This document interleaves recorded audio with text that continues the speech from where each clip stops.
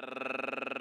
Arranca los competidores de la décima competencia. La partida es un poco lenta para el 3 Encore de Bottle. Se queda en el último lugar. Salta rápidamente Running for Riggs y por dentro Loddington. Loddington desplaza y se va a la punta del tordillo. Running for Riggs se queda en el segundo lugar. En el tercero viene apareciendo el Cayo Main of Honor. En el cuarto por la baranda aparece Jody Bayo. Mientras que Encore de Bottle está en la última colocación. Corre unos siete cuerpos del primer lugar. Domina Loddington. Presiona Running for Riggs por la parte externa en 22-1. El parcial para los primeros 400 metros. En el tercero Main of Honor. En el cuarto aparece Jody Bayo. Y continúa el 3 Anchor de Bottle en la última colocación. Loddington por la parte interna. Running for Riggs por fuera. Cabeza a cabeza en el tercero. Los viene cazando Paco López con Main of Honor. En el cuarto viene apareciendo el ejemplar Jody Bayo. Y continúa Anchor de Bottle en la última colocación. Van al giro de la última curva. Van a ingresar ya a la recta final de Goffrin para en 45-1 para la media milla. Por fuera Main of Honor pasó a la punta. Se resiste Ronnie von Riggs y atropella ahora el 12 el caballo Yaudivayo por la parte de la cancha, pero domina Main of Honor con Paco López.